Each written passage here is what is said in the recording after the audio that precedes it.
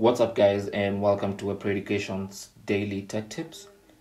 In today's tech tip, I'll be showing you how to use split screen on your Oppo A95.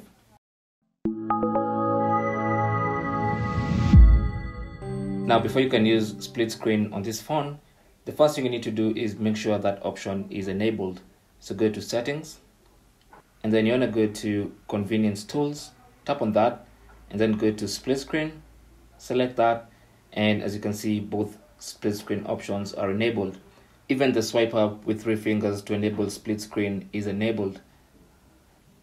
So now that you know split screen is enabled, simply open any app that supports split screen it's important to note that not all apps support split screen. Now, YouTube is one of those apps that supports split screen. So while you're using one of the apps you want to use in split screen, open the app and then go to this multitasking button at the bottom and then press and hold that until the YouTube app is sent to the top there. And then open the other app you want to use in split screen. So for instance, I'm to go ahead and open settings. And you can see YouTube is at the top and settings app is at the bottom. And that's how these apps are used in split screen.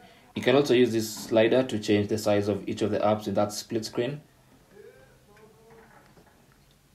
and have more screen real estate on one app than on the other and when you want to exit split screen you can simply swipe up or down depending on which app you want to close and it's going to go back to the simple app mode and that's basically how to use split screen now, I'm going to show you the three finger gesture for split screen.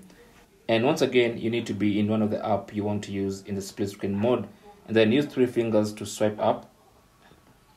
And that will initiate split screen again. And then you can open another app that you want to use in split screen mode. So once again, it's three fingers on your screen, swipe up, and that will initiate the split screen. And now you can use apps in split screen on your Oppo A95. Thanks for watching. You can leave your comments and questions down below. Don't forget to share and subscribe for more tips. Until the next one, my name is Chris, and I'll talk to you guys soon.